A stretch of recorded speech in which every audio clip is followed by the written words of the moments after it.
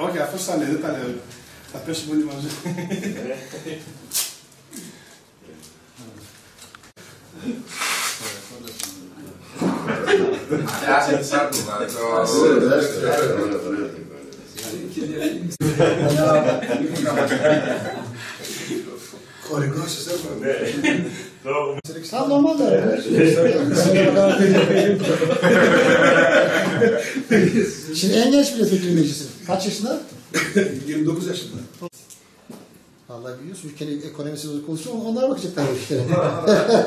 o batıracak bizi. Ya da çıkaracak. ee, abi Hızlı mı? İnternet, evi internet. Yani Gregor. Yani Gregor. Hmm. Evet. Evet. Bu devirle bir tane şimdi Göndermek mi istiyorsunuz? Aha. Kahveye gideriz göndeririz oradan. Ha, ha. tamam. Sto strategia, ma... Biraz Öğren yok her